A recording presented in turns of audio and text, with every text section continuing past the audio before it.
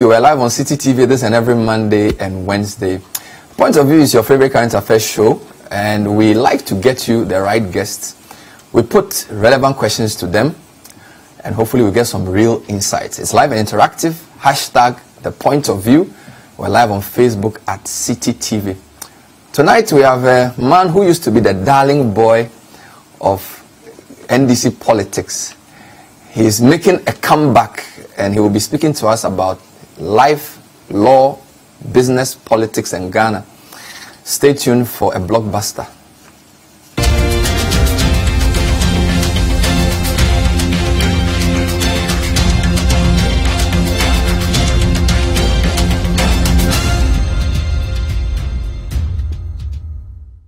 So at uh, 25ish, he was lecturing law. By 28, he was special assistant to the most powerful man in Ghana. In his early 30s, he did a lot of things, including help draft our oil and gas laws, led delegations to the UN before 35.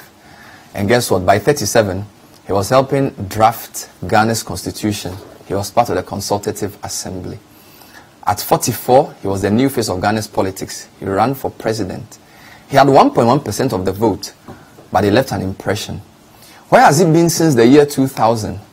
And what does he make of all the soundings that he should come and lead the NDC into election 2020? Augustus Goosie Tanoh, also known as Obu Adum, is my guest on the show tonight. We'll be asking him whether he's interested in leading the NDC into office or into the election 2020 and what he's been up to for this long time. You are welcome with your comments and your views as we discuss his career on the WhatsApp number that will be on the screen. We will come back and show you his nice face. Don't go away.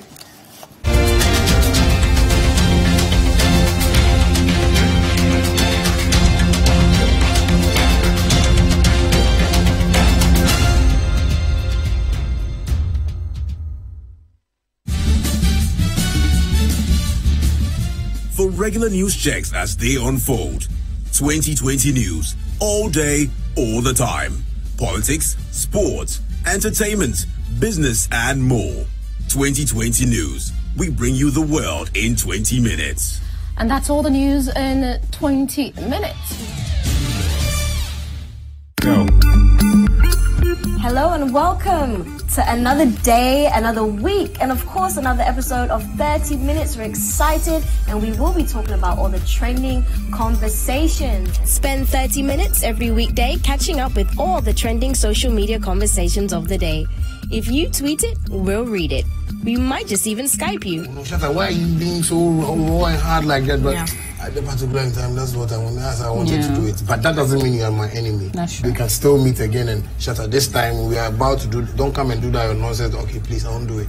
And we'll give respect to each other. But sometimes I feel, you know, when we we are all humans. When somebody says something about me, Shatta, hey, no, no, no, no, I might want to say something. Yeah. So, but when I say it, people shouldn't take it like uh, taking things, you know, personal and stuff. I've understood showbiz now, and I really want to work on it. Like, 30 minutes is all it takes, so use the hashtag 30minutes on social media to catch our attention. Join the most interactive social media TV show weekdays at 5 p.m. only on Citi TV.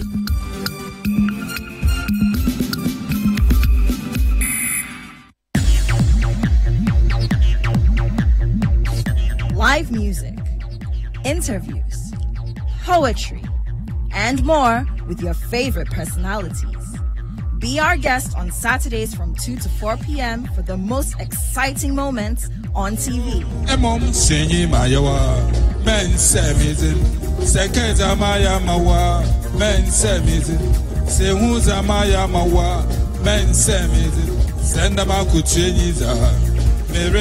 Maya Kojo Akoto Boateng for real entertainment right in your living room. Saturday Live on Citi TV and Citi 97.3 FM.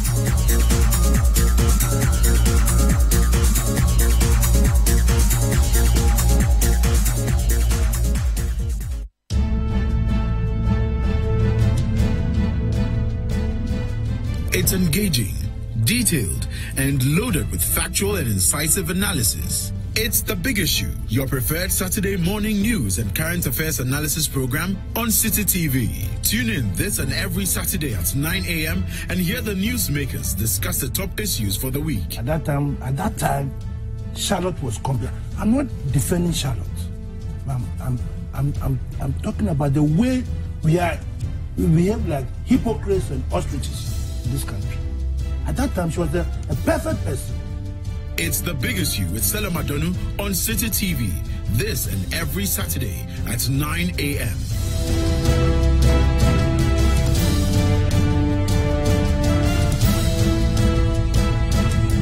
You're in tune to the Breakfast Daily on CTTV. Stoneboy SSO. Keep it locked. Don't log off. We spice up your mornings with culturally enriched conversations, social interviews, and policy oriented discussions that will keep you updated on the progress of the nation. And that is the reason I was making the point to him that I refrained from responding to this Joyce Bawah statement. Because if some citizens have accused President Mahama of diverting a certain amount of money, deal with that, deny same, and move on with your life. Join the Breakfast Daily team Monday through Fridays from 7:30 a.m. to 10. Let your voice be heard with the hashtag Breakfast Daily. Join us for breakfast daily, only on Citi TV.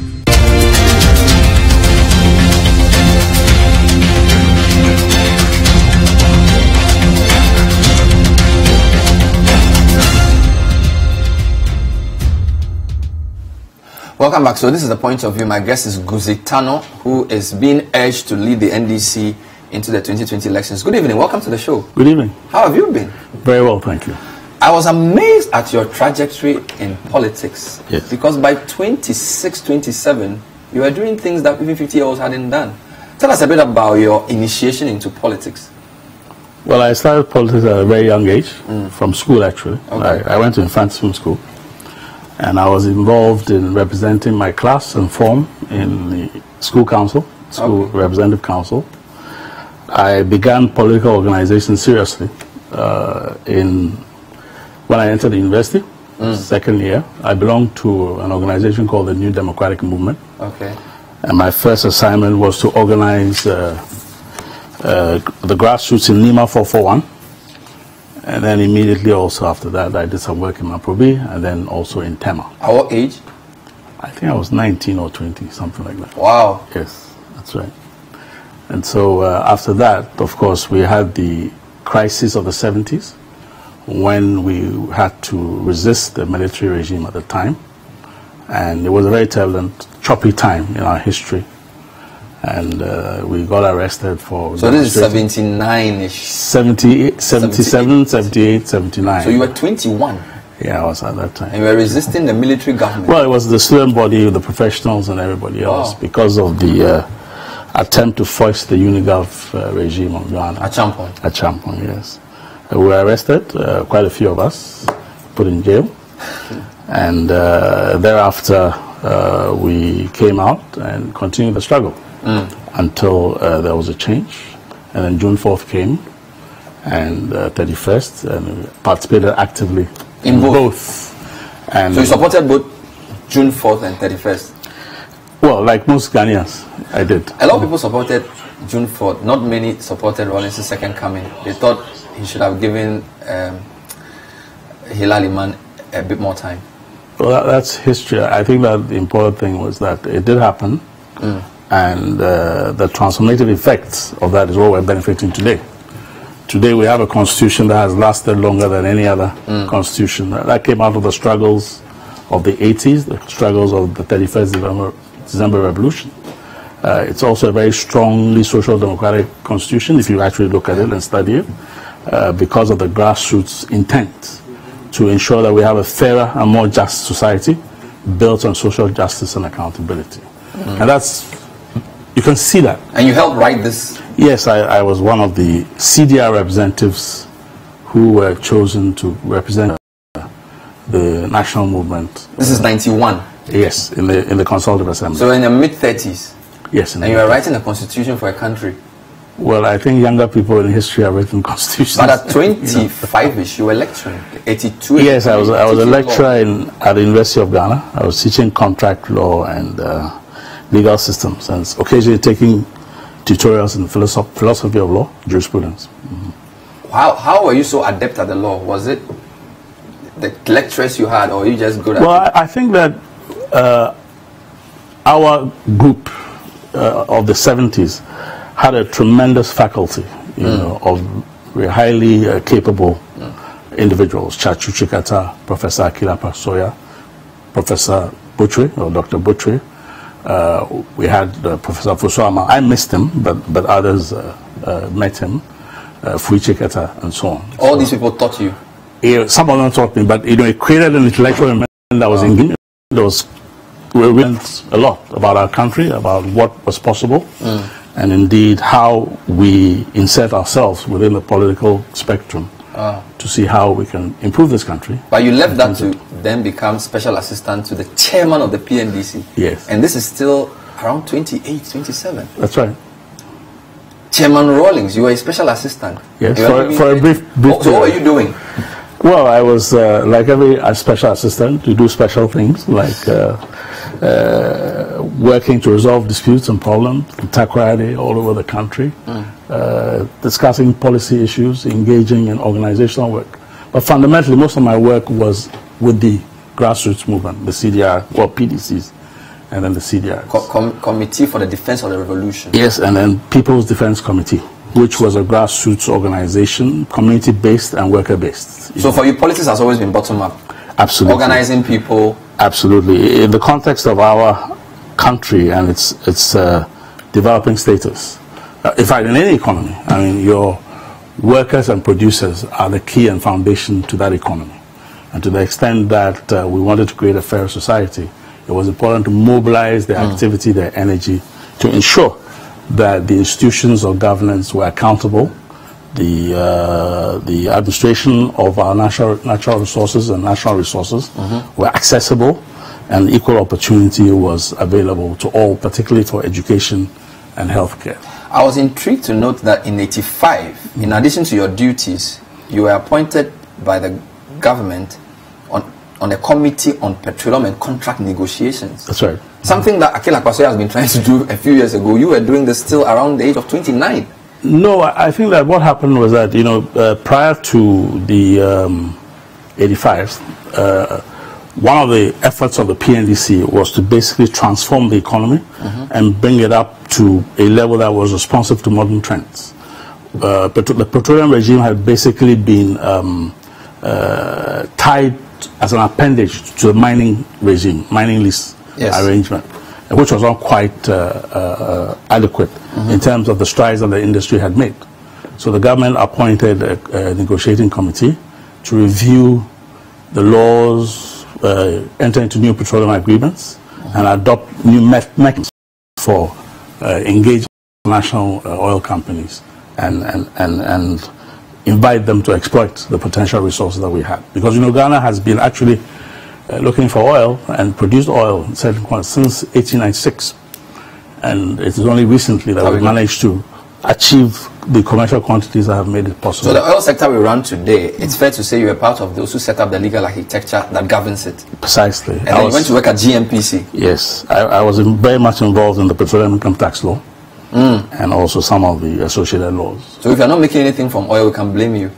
Not really. I think that we did our very best, and I think that if you look at the regime that we uh, instituted, which is being used today, which is profit related and also tries to get as much of the resource for the state through not only royalties but also through uh, income tax and what they call uh, additional oil entitlement and other.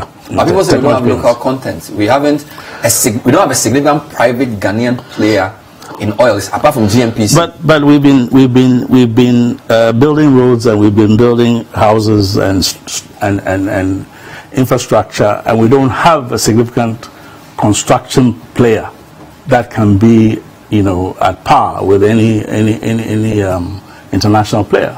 That is the problem So it's not limited to oil. No, it's all across the board. That is the problem. We have not supported our entrepreneurs. We have not invested in them. Mm. We have not carried their capacity and advertised them to do work not only in, in, in, in, in the sub-region, Mm. but beyond the sub-region. Of course, during Rawlings' time, there was an attempt to do that, where SCC did some construction work in Angola, and I believe uh, Eagle Star did some work in Equatorial Guinea. You know, but that is really uh, uh, uh, one of the concerns in, in building GNPC to give it total capability, so that one day it becomes as good as any uh, uh, state. state We'll come back to the oil sector. Just I'm just running through some of that. So even in the 80s as well, you led delegations to the UN. You worked on the Security Council when Ghana was a member. This is still rather young age, and of course, Kofi Annan's death brings back the UN. So you were quite involved with the UN for Ghana in your early years as well. Yes, in 1986, Ghana was elected to the Security Council, and um, the, the I was requested to join the delegation as an advisor uh, because they needed more staff. At the age of 30. Yes, at the age of 30. And so I joined the delegation and was given assignments also in the General Assembly. You know, the General Assembly has six committees. So I was given the assignment for the legal committee, which is the sixth, sixth committee, and also assignments for the fourth committee, which was the decolonization committee. So I re- represented Ghana on those, and also on the special political committee Okay. and, uh, and, and, and did quite a lot of work. It was a very exciting time, particularly when Ghana was on the Security Council. Because those were, that was the time that we had the attacks on Libya, if you remember. That was also the time that we had the Nicaraguan con- Contras. And that is also the time that we had the, attempt, the, the, the global response to the dangers, the crisis, and the sheer brutality of the apartheid regime. Mm. And when the apartheid movement began to evolve a global reach, and mm. that is when we were there. And that Any encounters with Kofi Annan at the time, or at the time he wasn't significant in the UN? He was. He was the Assistant uh, Secretary General mm. for Human Resources and was very much involved in the administrative reforms of the uh, of the UN through the Fifth Committee and what they call the ACABQ. He was my neighbor also. I Oh, lived okay. on the, the we had a flat, the, the mission, and he lived on Roosevelt Island. So Oh, I, wow. I saw him. And you both times. went in front of him. Yes, we did. Yes, and I, had, I was very fortunate to have a fantastic ambassador and leader, Ambassador Victor Gbeho, who taught us. A wonderful colleague, Edward Kufuor, and so on and so forth. It was really fantastic. Wow. Experience. A, learning, a learning process. And then within all that period, you came back, did some banking work as well. You were part of the guys who brought EcoBank to Ghana, I'm told. Well, no, I didn't bring EcoBank. to- GNPC was a shareholder Okay. in EcoBank. So you on Yes, and we encouraged it. We did a lot of business, and because the idea of a transnational West African uh, bank was very attractive. Don't forget that Ghana had been a leader in this. Uh, Ghana Commercial Bank began uh, uh, investing and, and, and establishing branches in Lagos, in Lomé, as part of Nkrumah's, you know, uh, uh, uh, uh, economic uh, outreach to the rest of Africa. Unfortunately, that attenuated and, and then unfortunately ended. So when EcoBank came, it came as one of the uh, the, the, the, the, the, the roles that could, got, that could fill a niche, and GMPs was very interested in supporting that. Wow. know, Yeah. So here you are with politics, law, oil and gas, banking, academia, all at a very young age. Yeah. And so it was a privilege. You were almost like the the poster boy for everything that's good about the PNDC, rising star. No, I, I wouldn't say that. But they are the contemporaries who are the same there- uh, the PNDC, in fact, one of the extraordinary things about the PNDC was a sheer intellectual and te- technocratic capacity that Rawlings was able to attract. You know, uh, outstanding people, Justice Annan, you know, uh, uh, uh, the Ahwoi, the Ahwois, uh, Tsatsu Tsikata, Captain Kojo Tsikata, and, and many others who were remarkable in their fields, you know, of, of endeavor and their professions.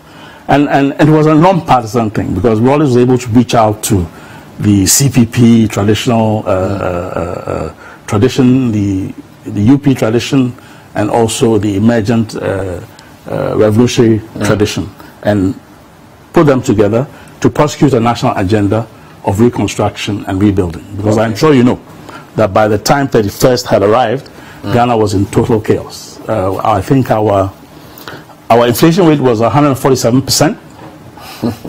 if you wanted to toilet roll, you went to Lome to buy toilet roll and toothpaste. Wow. because there was no foreign exchange. The currency was completely overvalued, and the currency, the power market was multiples of what the official rate was. There was no foreign exchange. Almost all the state industries had collapsed. Uh, the the the uh, I think the foreign exchange cover was less than a week at the time that uh, the, He took over. He, he took over. So it was a really a crisis situation. And don't forget that because of the impact of the Iran-Iraq 1979 war, oil prices had really skyrocketed and really killed our balance of payments position. And mm, to that extent, there was a tremendous crisis, you know, within the body politic. I mean, walk into, you go and you look at the shelves and there's only one product. Some weird uh, corned beef from Argentina, filling all the, the shelves. That's how it was. So when you look at Ghana today, it's very hard to imagine where it came from. Quickly talk about how you guys went to IMLs Yes. who did not believe in the ways that the Bretton Woods institutions thought about the world. So it must have been humbling to go cap in hand saying, we need a bailout from you, come and help us rebuild our economy. So it was a very difficult time. And you're right that the left had always campaigned on the fact that we should be independent of the Bretton Woods institutions.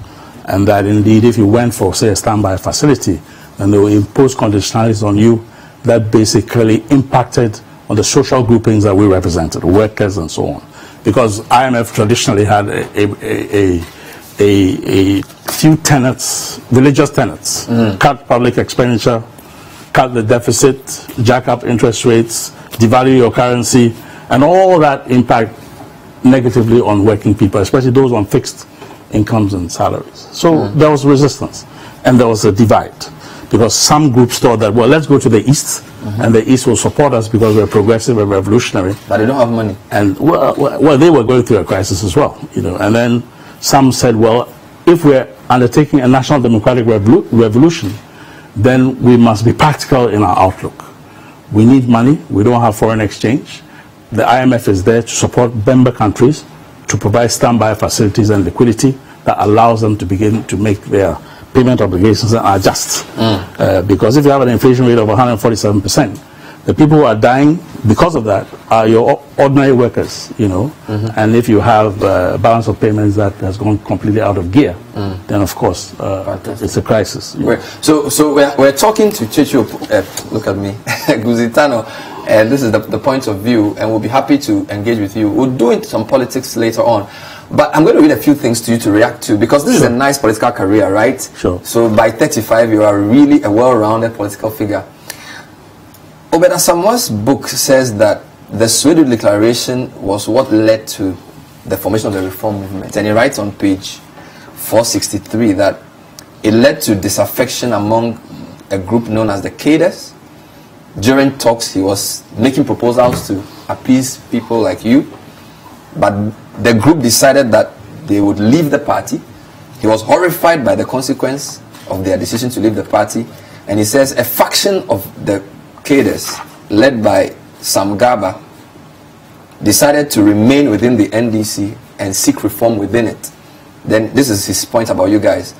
Another faction led by Goosie Tanoh, Opoku and Podugbe decided to break away and form the National Reform Party. My warning to them about the naivety of their fundamental assumptions that the membership of their party, as owners of the party, would fund it proved difficult for them to appreciate. But I knew from my experience with the NDC that the assumption was naive. Is- But you know that he left the NDC. The very person who is, 16 is, years is in. writing this. Uh, so it just shows you that uh, perhaps uh, he should have listened to his own advice as well. But he was right, he? so- he was not right. I mean, let, let's go back to the history because I think some of the assumptions are wrong. Okay. And I want to do quickly a Yes. quick. Uh, in 1996, you know, in 92, we were all at the party headquarters uh, working uh, to working and basically crystallizing the work that we had done in creating the NDC through the Development Union, which I was involved with my colleagues Sam Garba, Chucho Poku, Bod- Bodobe, Huriaya, and so on. Uh, because the NDC was a, an, an amalgamation of different groupings, so that's why it's called a Congress. So you had the Development Union, the front of which was formed with people like Asidu, Inkitia, and so on, in the Consultative Assembly, those who came the Consultative Assembly, and then you had the Eagle, and then New Nation, and so on. And all of these came together to form NDC. We worked steadfastly and, and were able to win the 92 elections by a very wide margin. After that, we left because we felt that the process of decay had begun. Once we got into party politics, then people began to, to behave, if you like, as politicians do, in a way that unfortunately discredits the, the, the began to discredit the founding principles of, of, of, of, of, of well, began to contravene the founding principles of, of our party, Mm. you know, and, and its history as a grassroots, honest, accountable uh, uh, party. So by August 96, I had moved back to, I was, I created a business, I was working on that, and I was not very active. Occasionally, I would uh, do speaking engagements for the grassroots in Tema in particular, and in the rest of the country. Always espousing the popular democracy, accountability, transparency, which has been an area of great concern and, and, and attention by myself. In 96, it was pretty clear that the NPP was becoming stronger, and it wasn't clear how the elections in 96 would go. So in August 96, Professor Mills sent for me, got uh, uh, uh, nominated as a vice presidential candidate for Rawlings for that election. He asked me to get my group back into the party. So your group was not actively involved? We were, we were not active, we had been dormant, you know, get back and try and, and, and understand that with victory, mm. the issues that we had raised will be addressed internally. Was it the 96 dormancy? Was it not because you were not chosen as running mate? Some people felt that you were upset. No, no, no. That you were, you were- 40. 96, 96 I, have, I don't even think I qualified to be a vice president. Sure? Yeah, I'm sure about that. Okay. And so what happened was that uh, when um, Mills called me, I said, okay, we will work and we will give our all as we have done in the past with the understanding that reforms will occur.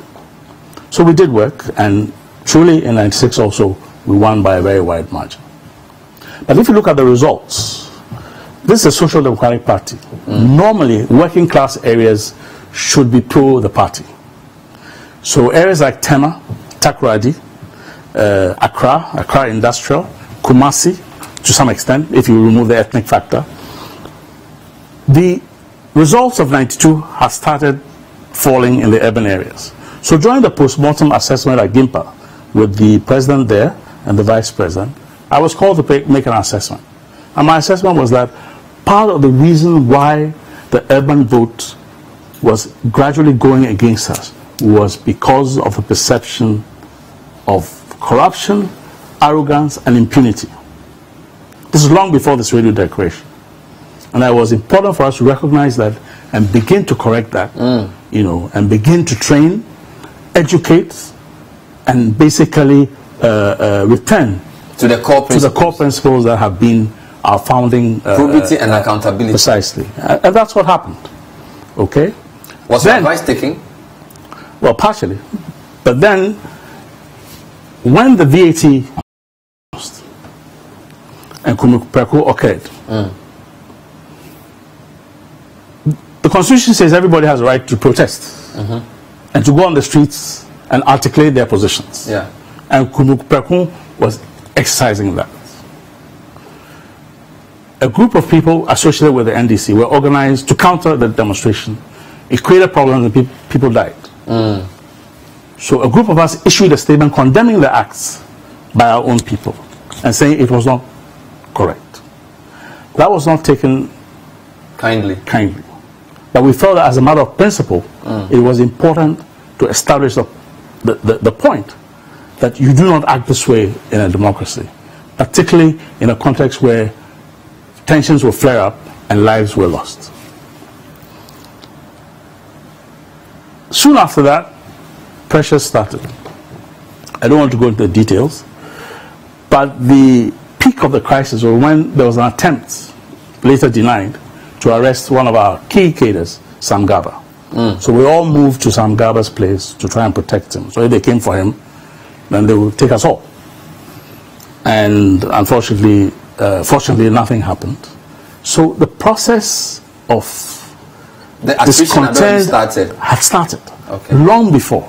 And in fact, there was going to be a statement issued before the Sedgwick Declaration. But unfortunately, Alban and Twitwi were in Paris. So they, and they were. So uh, Alban was part of your. Yes. Alban Bagbin. Yes, it was very much Your part former of. office mate. Yes, and my student, you know, was uh, was was was part of that. And uh, fortunately, unfortunately, we couldn't issue a statement. And then the declaration came, and everybody was ah, these people is because uh, so and so has not been made. I, we had nothing. It, it wasn't the Mills. It had nothing to do with Declaration. Mills. Absolutely nothing to do with Mills. Let me read an article Kweku Sakyi-Addo wrote about you for the BBC 1st December 2000 because then you had formed the Reform Party and you were the Yes. candidate. And uh, viewers, permit me to read a few lines. If anyone is spicing up Ghana's election, it is Goosie Tanoh, the 44-year-old former founding member of the ruling NDC. Mr. Tanoh's Reform Party broke away from the NDC last year, citing corruption and lack of internal democracy. The latter has been borne by the NDC squabbles, handing the NRP I told you for credibility. Then he talk about your, your past and a few things. Then he says, instead of traditional political rallies, Mr. Tanoh and his NRP have been holding town meetings where they engage in question and answer sessions with communities under village trees. A bit like Obama. His a detailed grasp of national economic and social questions, a payoff of the deliberate, regular, and thorough studies by the NRP's youthful and intellectual leadership. Although Mr. Tanoh is not about to run away with the presidency, oh, Sorry. and then talks about your baggage from the NDC, he will hurt the NDC and the chances of its presidential candidate, John Atta Mills, because part of the NRP's core following is disillusioned former NDC grassroots activists. And then he also says some undecideds also find the NRP's focus on issues and this message of a new political culture of tolerance attractive. Then he ends by saying, Mr. Tanoh and the NRP are poised to become a major political force for the future with the capacity to snatch young people from both the main opposition NPP and the NDC, depending on which one of the two major parties loses the election. You agree with this?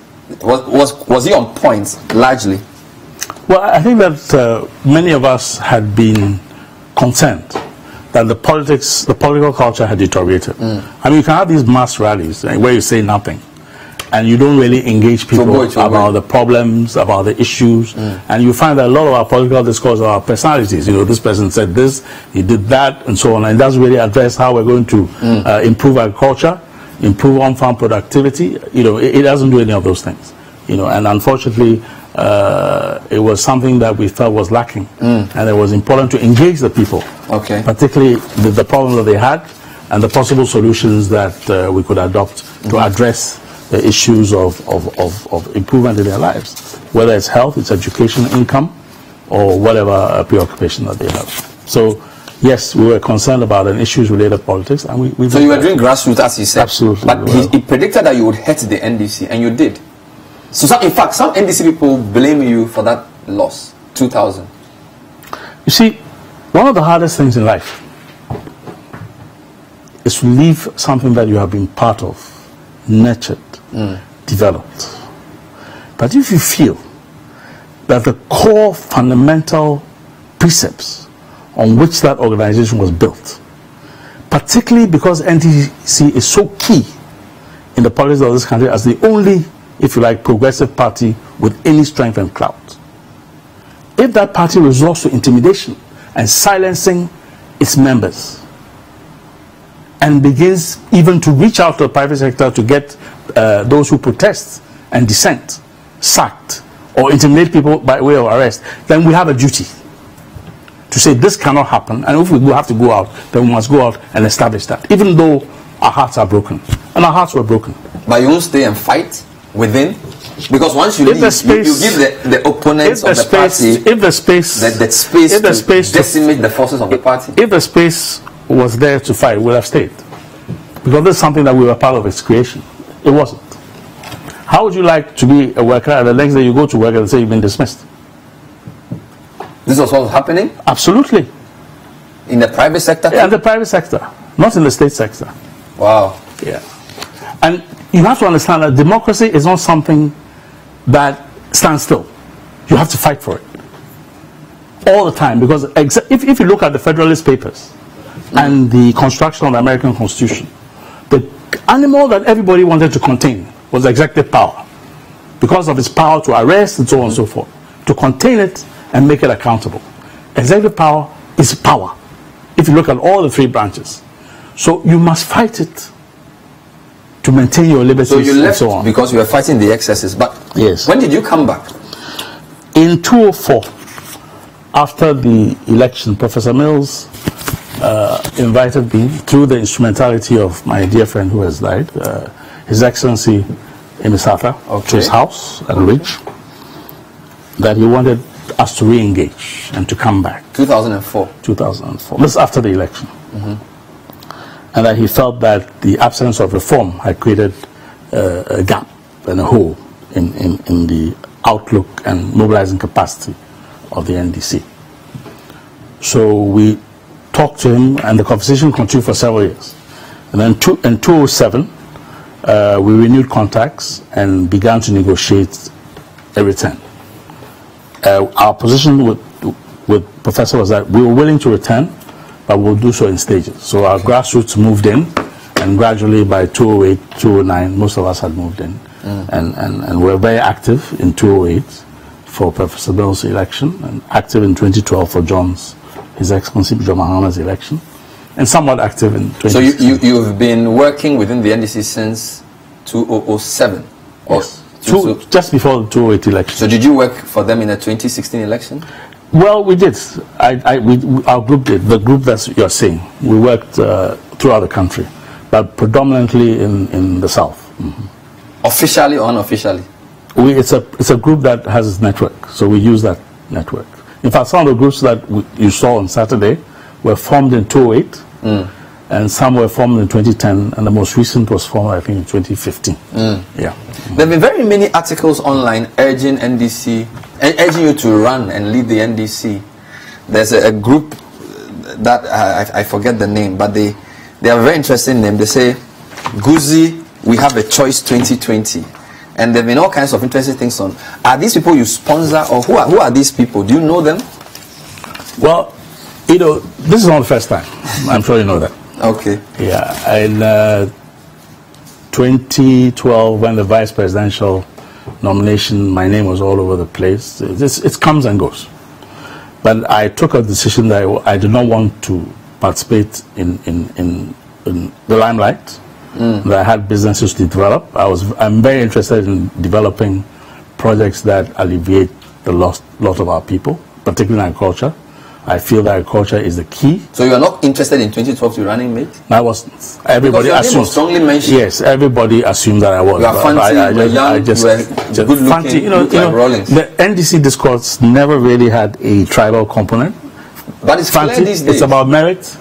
It's about capacity. Where you come from is not important. It's whether you embody the values that people are looking for and you have the capacity to discharge the duties that uh, uh, being appointed to such a high position. So that was in the past because now they always run. And we need to reverse that. That's part of our, our, our program, to reverse this extraordinary ethnicity that is gripping this country. There are two things that collapse nations. And I may say so respectfully religion and ethnicity, tribe. You see what happened in Rwanda. You've seen what happened in Sierra Leone. To some extent, you've seen what happened in Liberia. These are dangerous things. And irresponsible politicians use it to their advantage, to the disadvantage of the totality of our integrated effort to remain as nations and continue as nations and build together. But in Ghana, people self-identify with some political parties based on. If you look at the vote, you've done this. Yes. some regions And, and, and, and, and the effort must always be to resist that, educate, train, and let people see that merit is key to any developmental effort. If you put somebody who does not deserve to be in a position, in a high office, who has no qualification, who is simply from your hometown, it doesn't work. And we've seen that many, many times. So you've come back into the NDC 2008. It's been 10 years. The NDC was in power under Mills for four years and four years under Mahama. Haven't they done well? Why aren't you just why aren't you supporting Mahama to continue the good work Mills started? Well, let, let me make a point. I, I think that everybody has a right to decide that they have the capacity to lead this country for a second or third time. And I believe that Mahama has that right, and I would defend that right. I believe that NDC could do much better. NDC, married to its founding principles of accountability, social justice, and development, can do much better. The results of the 2016 is basically an indictment of a particular period in our history. And we mustn't run away from that. We must face it. Every great party, every great nation faces the problem that it has with the intention of finding solutions. Perception of corruption, misaligned economic policies, impunity, injustice. We're in a nation now where it is all right to be greedy. Perception of corruption of corruption. Perception of corruption. Because we must be very careful how we choose our words. Sometimes people are, are alleged to do things, and when it gets to a court of law, they let go because it's there's no perception. evidence. Per- perception. misaligned priorities. Pers- misaligned priorities. Look, look at That- that- that's poor leadership then. Look at look Because at leadership is about priorities, look right? at look at but but it's it's been consistent throughout until with a few shining examples. This is a country that's basically agricultural. Mm. Its growth trajectory is going to come out of agriculture because agriculture employs more than 50% of the population. If you have statistics that show that in the early from 2012 to 2013 agriculture grew negatively it's been growing 0.4% and only recently 3.5%. Your population growth rate is above 2%. So your net margin of food security, your net margin is dicey. You're always on the threshold of collapse. That is not, and it's not prioritized. If you look at the budget and the allocation, it's not prioritized. So the, the approach of the Mahama administration. It is not the approach of Mahama administration. Their priorities. It is the, approach in throughout our post-independence uh, uh, uh, uh, career as a nation. You don't want to set. You don't want to. Uh, you know, I think that what what has happened is that the, the decay has been ongoing and long, and it's happened. So there's no difference between the NDC and NPP then. well, a lot of people do not know the difference between the, the politics of the two. It's a fact. But NDC is a social democratic party. It believes in accountability. It believes in social justice. It believes in grassroots mobilization. It believes in internally generated economic solutions. It believes in self-reliance. It believes in uplifting the productive sector mm. and, and the technology of the This is the NDC. run the this is the 2016 NDC reform and the NDC that is going to be renewed and come back. So the NDC that has faith- lost its way. Yes, well, it We'll has come back way. and find out what, what different Mr. Goosie Tanoh brings and whether he will accept to, to, to declare his candidature or at least run. We are on point of view on Citi TV. We have some comments will read as well. If you are watching us, get in touch. Don't go away.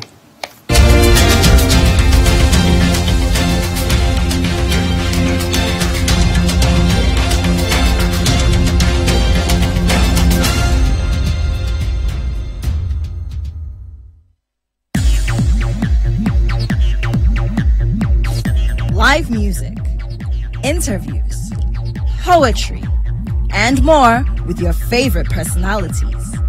Be our guest on Saturdays from 2 to 4 p.m. for the most exciting moments on TV. Emom sinyi mayawa, men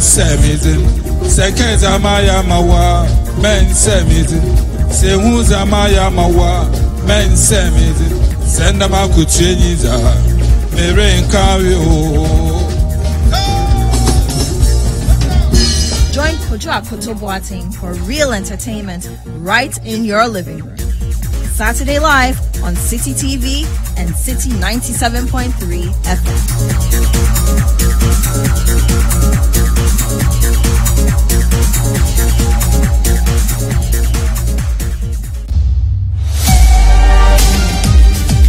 Wherever the weekend sporting action happens, we will bring it to you here on Scorecard.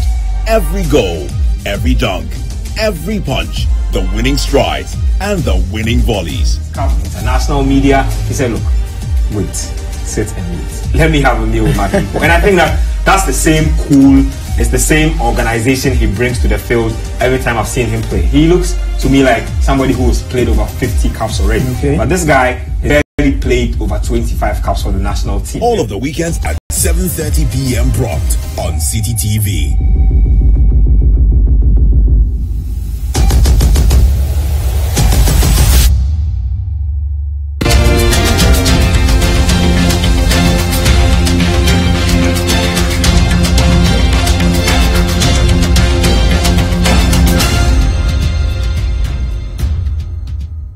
Welcome back. This is WCTV. We're live on Facebook. My guest is Goosie Tanoh, the man who wants to lead the NDC into the 2020 elections and fascinating political journey culminating in his leading the NRP to the 2000 election.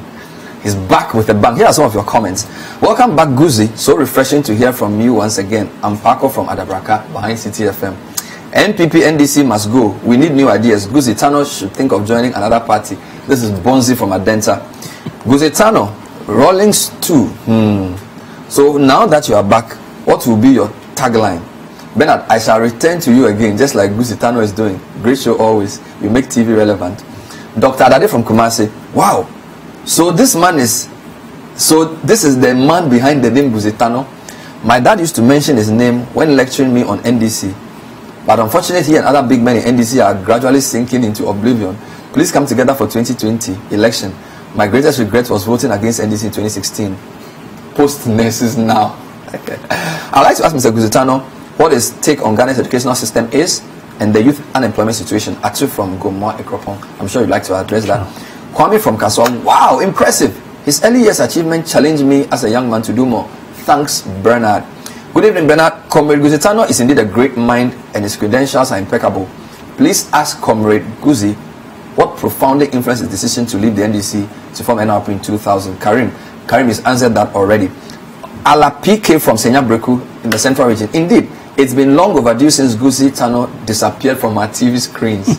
we hope his return to our political scene will be a positive one. Hashtag the point of view.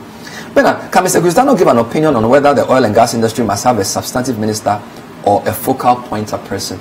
An interesting question for you as well. Um, good evening, Bernard. I don't think this man will be accepted by the NDC party. It's sad great brains are not useful to, in the nation. God bless Ghana. Pastor Faith in Tema. Wow, the man is very handsome. He looks like a presidential material. this is my first time I'm seeing him on any platform, but I heard of him in the early 2000s. Bernard, if I were a delegate of the NDC, I would vote him to lead the, N- the party and subsequently become the president of our dear nation. Kojo Apia in Oyarifa. So I think I'll pause here and co- comment on quick things. Uh, education, youth unemployment. Okay, I, I, think that the education thing is, is a national issue. Yeah. And as a nation, we must get it right. Mm-hmm. I think the partisanship is unhelpful. Yeah.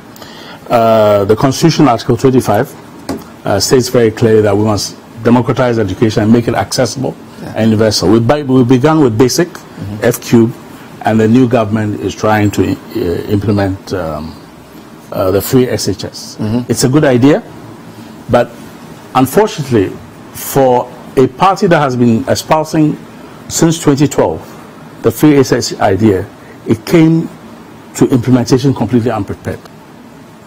The funding, the consequences for uh, uh, uh various components of the educational system mm-hmm. in terms of the social reach because I think the Minister of Finance made the point that it's really hard to justify somebody of his standing in society paying, not paying fees. Yes. And a poor farmer on a two and a half acre land mm. where he has to etch out a living with great difficulty, you know, also benefits from that same. We need to make that differentiation.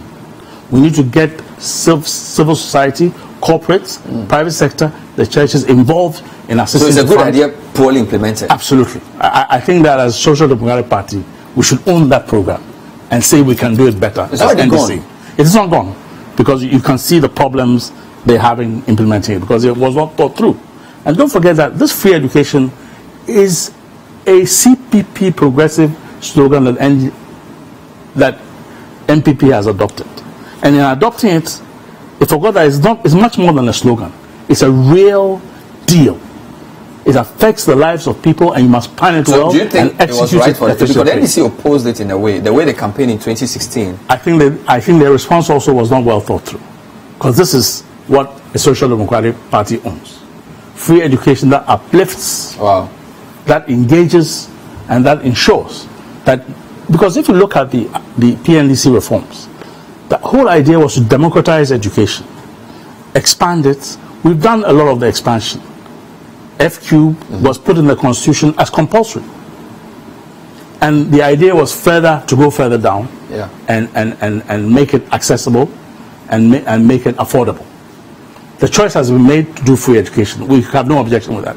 But it must be implemented correctly and properly. The NPP has a couple more. One district, one factory, one village, one dam. They seem very. They're very good at slogans. I mean, there- like- there's no question about that. These slogans, I think, garner votes.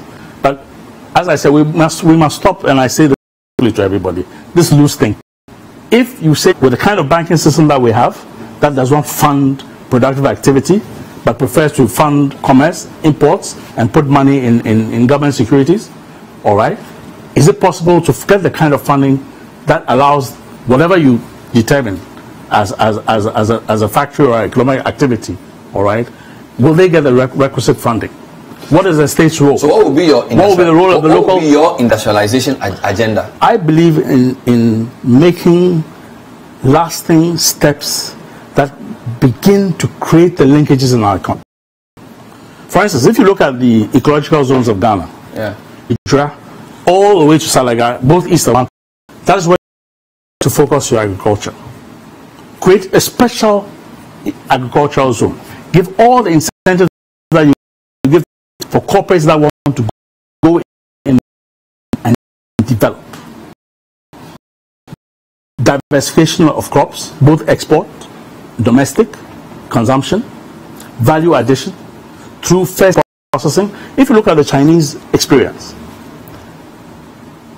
can you imagine that it took 200 years for the West to it took China generation 30 years based on intervention at the local level to create employment, create industry, create uh, uh, uh, uh, uh, Some would say you were close to power for 12 years. You could have implemented these ideas.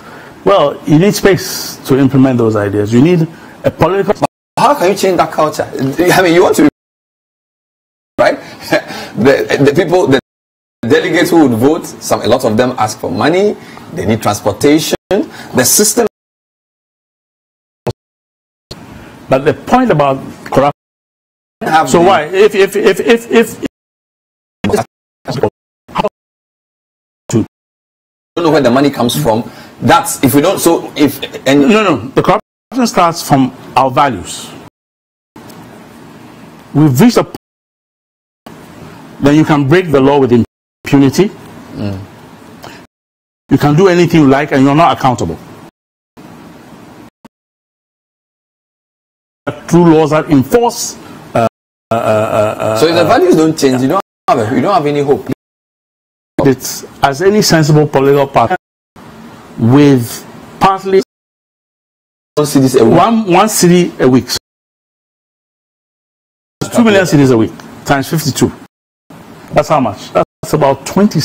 Because you need ownership. We say that of the politicians, where it was completely. People gave resources to the party to prosecute. NDC supporters would want to willingly give a CD. It's undermining the functionings who call us form, begin to create a new awareness because an awakened mass movement in itself is a control of abuse and impunity and arrogance. An awakened mass movement, it is. I'm accountable to my branch, I'm accountable to my party with the trust to represent as a minister, a deputy minister, a DC, or whatever it is. If you don't have people who are aware of their rights, are prepared to fight for those rights, then what happened? Service to be education minister was capacity. That's a good thing. So if you're somebody who is blind, everybody to join hands to begin a reconstruction and remove it, push it away. Go on the ground. What would NDC faithful tell you? They tell you how disillusioned they are they feel how there's no hope. Construct a society where they you the energy happened by 88. We had our My, Thank my you, sir. producer has told me I have 15 extra minutes, so they are enjoying. You are being mischievous. I personally know this man. He's a real man with the right ideas, but my concern is that Isaac Ashaiman. you should go to some earlier messages. Good evening, Bar. In fact, Goosie is an honest politician. Met. He's passionate about youth and entrepreneurship. Well done, CCTV, for bringing this great man. What a great gem. Um, the old adage. I'm going to put 15, 10% on a contract, and I'm going to use that to finance the party. Who said the resources of the nation of Ghana are for any party? Let's have a transparent process. People do get resources from foreign. Account for it. Supported by a foreign power. That's to ransom. Whether it's corporates, whether it's foreign governments, whether it's whatever it is. A lot of people who were between the ages know you. I mean, the last. It's not just the resources. The, when the rice is cultivated, uh, uh, that makes it possible for this country to move forward and not because crisis. We You've spoken. Wha- what's your what's your the person who grew the seeds to give to the extension officer, the loader, the warehouse keeper, the GPRTU card people who are engaged in the delivery of a product of value. It is those who create employment. Hmm. And I'm saying that satisfy agriculture, begin to add, but also export. But you know, we don't control our economy. And how do you control the economy? You know that if you take your economy. Situations that we must overcome, must promote. Because what is our window to the world? Our window to the world is 300. You calculate the total GDP of billion dollars plus. That is no mean amount. 34. If you add now 350 million people, they have growing up. If there was a Zeta, politics should reward. I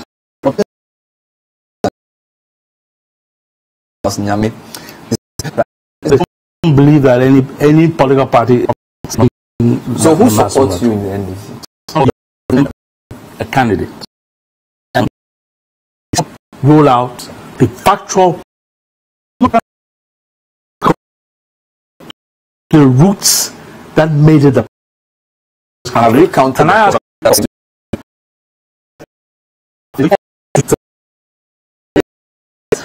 Well, my dear sir, if uh, but the party, if, if but, but if- Goosie, the no, party no, no, no, to Bernard, Bernard, Bernard, was in power on their, the, the party you want to lead led them for eight years. In fact, in our fourth republic, so it means the people are angry at you. You have a situation where labor is completely unprotected now. That's what they call a situation where people go to uh, hospitals with a national health insurance card and they're where they're paying two, three years, four years rent advance. They're having problems with transport, and you're saying that everybody is happy. What was the last time And, you and we're what was- what enjoying the- life. What was the last time you spoke to Rawlings? Uh, I spoke to him.